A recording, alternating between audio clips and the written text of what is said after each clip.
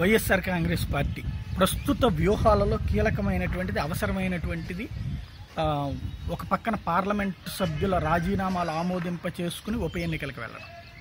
ఇంతవరకు దాని మీద ఒక స్పష్టత రాకపోవడం అన్నటువంటిది ఆ పార్టీని కూడా ఇరకాటంలో పెడుతుంది.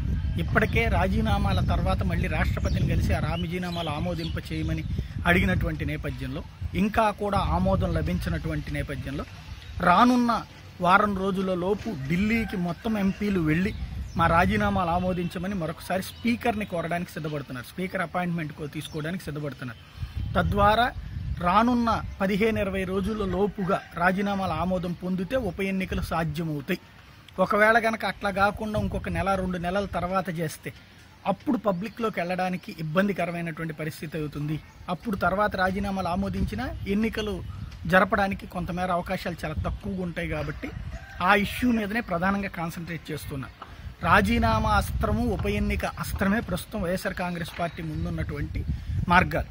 అవి కనుక ఆమోదింపజేసుకుని జనంలోకి వెళ్ళకపోతే ఇక జగన్ చేసేటువంటి పాదయాత్ర మీదనే డిపెండ్ అయ్యి మిగతా యాక్టివిటీ అంతా కూడా నడిపించాల్సి వస్తుంది. ఇంకొక వైపున పబ్లిక్లోకి ఇప్పుడు తీసుకెళ్తున్నటువంటి అంశాలకి అదనంగా ఏమి జోడించాలి? ఒకవైపున కుట్రకి సంబంధించి అంటే కేంద్ర ప్రభుత్వంతో ఉన్నంత వరకు ఒక రకంగా మాట్లాడారు. కేంద్రం నుండి బయటకు వచ్చేసాక ఒక రకంగా మాట్లాడుతున్నారు అన్నటువంటిది.